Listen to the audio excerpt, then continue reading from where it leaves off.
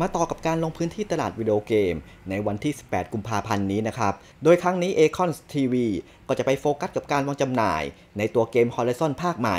มากกว่าการจองตัวเครื่อง PS5 นะครับ จะขอดูว่ากระแสตัวเกมนี้ ในตลาดร้านค้าจริง ๆ นั้น จะเป็นยังไงกันบ้าง เพราะ Acon TV ก็เชื่อว่าเพื่อนๆหลายคน ก็สั่งจองตัวเกม Horizon Forbidden West แบบออนไลน์กันไปค่อนข้างเยอะแล้วใช่ไหมครับ โดยเฉพาะเกมเมอร์ที่อยู่ต่างจังหวัด ซึ่งครั้งนี้เอง Acon TV ก็จะเอาบรรยากาศร้านค้าต่างๆ ในกทมมาฝากกันในวันที่ 18 กุมภาพันธ์นี้ Acon TV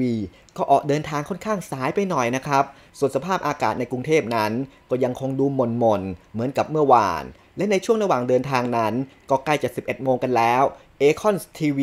ก็ขอเฝ้าสังเกตการณ์ในการจองสั่งซื้อเครื่อง PS5 ในรอบที่ 14 นี้แบบห่างๆแล้วกันนะครับ และก็ขอแสดงความยินดีล่วงหน้า กับคนที่มือไวจองได้นะครับ ส่วนใครที่ยังจองไม่ได้ ก็ต้องสู้กันต่อไป อย่างน้อยเครื่อง PS4 ก็ยังคงมีเกมดีๆ ให้เล่นอยู่ และเมื่อเดินทางมาถึงร้านดัง ในย่านสยาม นั่นก็คือร้าน NAS ก็ปรากฏว่าตัวเกม Horizon นั้น ก็มีวางจำหน่ายได้อย่างพอเพียงแน่นอนนะครับ เกมเมอร์คนไหนที่กลัวว่าแผ่นจะหมด ไม่ต้องตกใจนะครับ มีทั้งตัวแผ่น PS4 และ PS5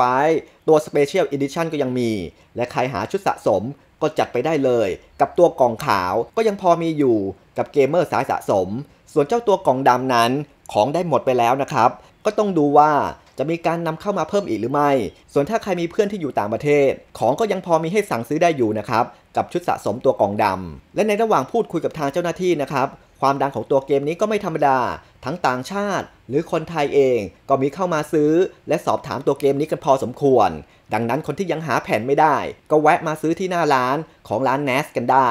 สำหรับสาย Walk in และต่อไปก็ไปที่ Sony Store กันต่อนะครับ ที่สาขาสยามพารากอนกับตัวเกม Horizon ก็มีวางจำหน่ายเช่นกัน ส่วนอุปกรณ์เสริมต่างๆ เทนชาร์จ หูฟัง ฝาครอบเครื่อง ก็ยังมีของเหลือค่อนข้างเยอะ และก็ได้สอบถามทางเจ้าหน้าที่แล้วนะครับ กับเรื่องของตัวสต็อกสินค้าที่มีอยู่ทางหน้าร้านนั้น จะแยกส่วนกับในตัวเว็บของตัว Sony Store ที่เปิดให้สั่งทางออนไลน์ และในวันนี้เองก็เป็นวันที่เปิดให้จองตัวลำโพงไร้สายนะครับ แบบคล้องคอตัวใหม่จาก Sony Acon TV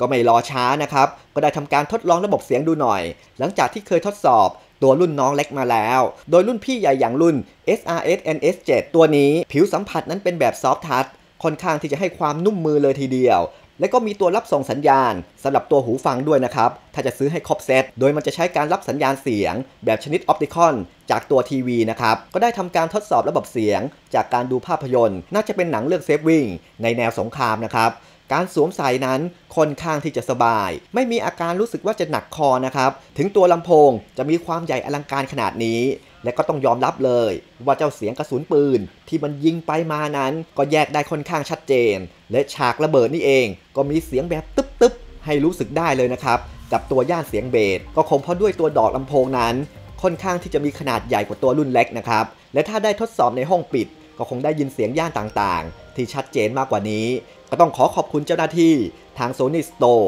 ที่ห้างสยามพารากอนในครั้งนี้ด้วยนะครับ และใครจะเอาไปใช้งานกับเจ้าตัวเครื่องเล่นเกม PS5